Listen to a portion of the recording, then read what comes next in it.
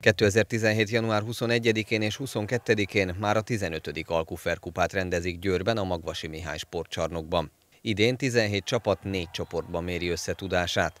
A kupán részt vesz többek között az MB1-es Gyirmót, az MB2-es Mosó Magyaróvár és az MB3 második helyén álló, a tavalyi tornát megnyerő Győri Eto FC is. A rendezvény egyben a Gyirmóti labdarúgás alapítójának Horváth Ferencnek immár 12. alkalommal is emléket állít. A korábban megyei csapatokkal indult foci kupán most is jelen lesznek az alsóbb osztályból érkező gárdák, például a Bágyok Szovát, a tavaly Keglovics kupát nyert Nyúl és a budapesti pénzügyőrese is. A kétnapos tornán a csoportok harmadik-negyedik helyezettje vasárnap délelőtt az alsóházban folytatja a küzdelmeket. Az első és második helyen végző gárdák a csoportmeccsek után a felsőházban küzdenek a végső győzelemért.